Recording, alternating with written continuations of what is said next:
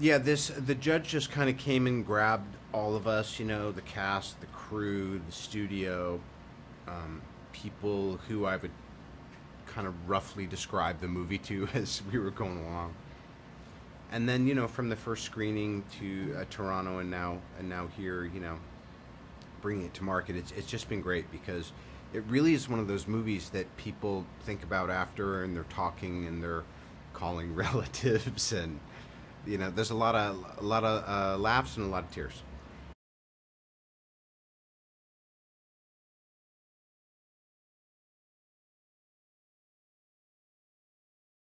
Yeah, it's it's interesting. You know, it's framed as as a courtroom drama, and you could say it is, but it's not really. Not many of the scenes uh, take place there. And you could say it's about a guy going back to his small town, but it kind of isn't. It's about somebody struggling to reconnect and and make sense of their past. You know.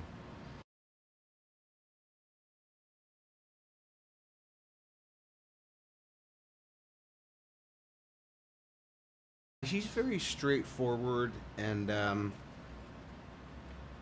but the funny thing is I realized like obviously we was we must work similarly enough because it was very easy doing all these difficult scenes with him. So but I think he's just one of those guys who at any age just has this sort of energy and believability that I think is really admirable. Um, and again, I'm just I'm I'm so excited that people are going, wow. I mean, you know, I haven't I've seen the movies he's been doing, but this is like this is right up there with you know Great Santini. This is up there with Lonesome Dove. This is you know, so so I, I'm just really pleased that uh, that he was able to, as usual, kick ass with this part he was given, and, and he's getting all the appropriate attention.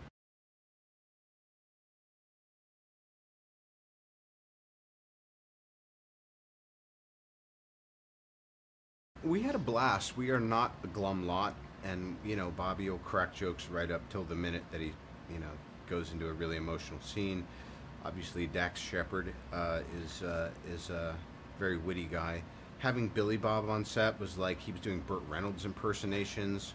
Uh, he wound up doing a little bit of Sling Blade for us in the courtroom.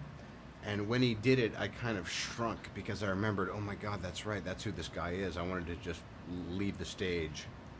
But um, you want to work with people like that, you know, who uh, who are heavy hitters.